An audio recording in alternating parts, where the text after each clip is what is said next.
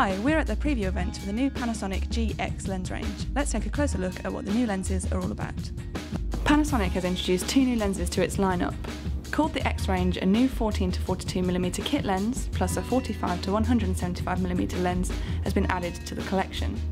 The new lenses are the world's first digital interchangeable power zoom lenses. This means that the lens uses a switch on the side to zoom in and out.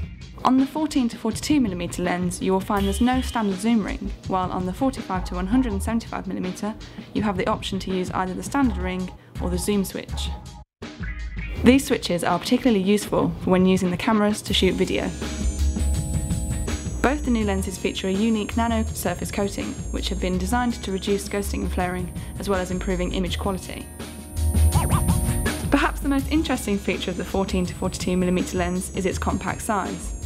For the first time, we now have a retractable zoom lens for the Panasonic G series, which reduces the overall size of the body, which is particularly useful for slipping into a bag.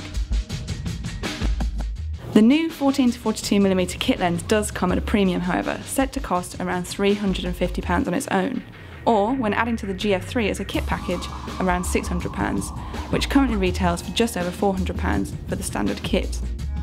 Panasonic says that for that extra £200 you will be getting a much higher quality optic, as well as the more compact size. Time will tell if consumers agree. For more details on the new lenses, along with a full review in due course, visit techradar.com.